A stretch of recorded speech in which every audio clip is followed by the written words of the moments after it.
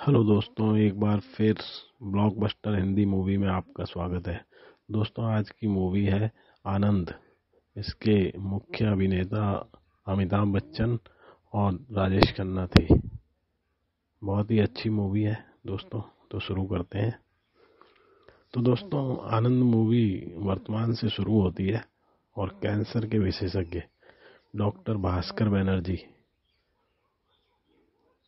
अमिताभ बच्चन को साहित्यिक पुरस्कार से सम्मानित किया जा रहा है कि उसने आनंद जैसे उपन्यास की रचना की और डॉक्टर भास्कर अपनी सफ़ाई में कहता है कि यह उसकी डायरी के कुछ पन्ने हैं और वह कोई लेखक नहीं है और यह उपन्यास सही घटनाओं पर आधारित है।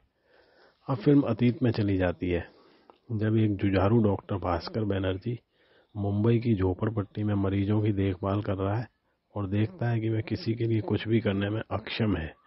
वहीं उसके दोस्त डॉक्टर प्रकाश कुलकर्णी, रमेश देव, का जमा जमाया अस्पताल है जो बिन बीमार मरीजों को भी देख लेता है और उनसे अच्छी रकम ऐटता है। जबकि गरीब मरीज़ जो कि भास्कर भेजता है, वह बिना पैसे सारे टेस्ट करवा देता है। एक दिन प्रकाश को दिल्ली से उसके एक स्त्री रोग विशेषज्ञ डॉक्टर त्रिवेदी का खत आता है कि वह अपने दोस्त आनंद, राजेश खन्ना को उसके पास भेज रहा है।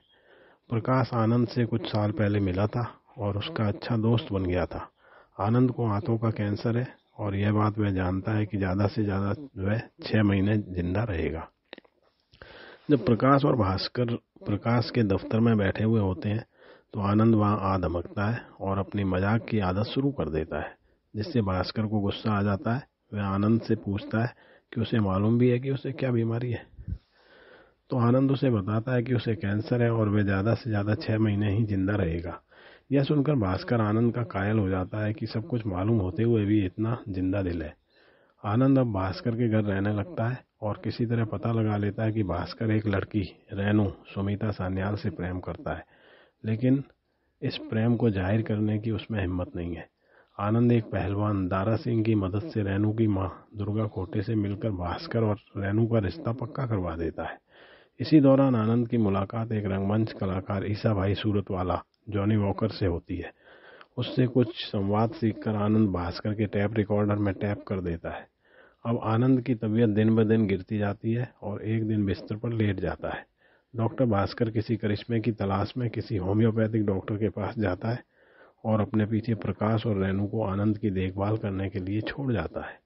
लेकिन उसके लौटने तक आनंद दम तोड़ चुका होता है और पार्श्व में आनंद का रंगमंच का टैप किया हुआ संवाद चल रहा होता है। यहीं पर फ़िल्म खत्म हो जाती है।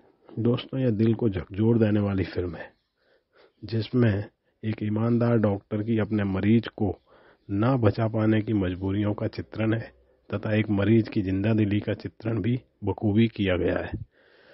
तो दोस्तों, आनंद पिक्चर देखने का आपको मौका मिले तो अवश्य देखना, क्योंकि एक बहुत ही बेहतरीन मूवी है। खासकर इसका जो अंत है, वो बहुत ही